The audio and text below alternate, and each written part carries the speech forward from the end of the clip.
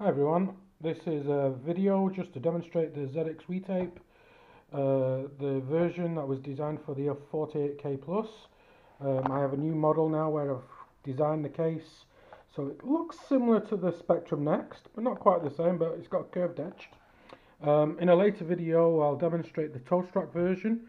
Um, I can't do that today because I'm waiting for the SCART cable to turn up uh, for, for my toast rack. Uh, but you can see there's one there already.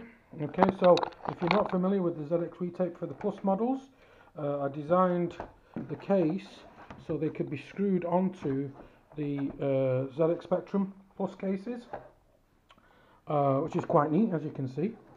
Um, these are powered from the same power supply as the ZX Spectrum and uh, I'm using this switched uh, power splitter.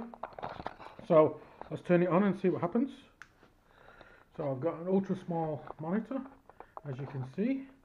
Um, now let's load up again. So load, call, call, enter. Now it's waiting for us to load again. Uh, is running the Maxduino firmware. So let's find a game on the SD card. Of course the go-to game is Chuckie Egg.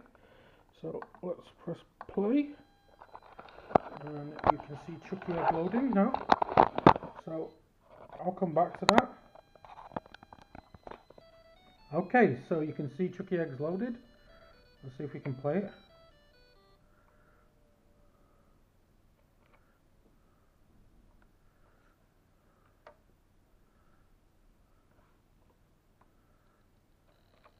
But anyway, guys, you can see Chuckie Eggs loaded.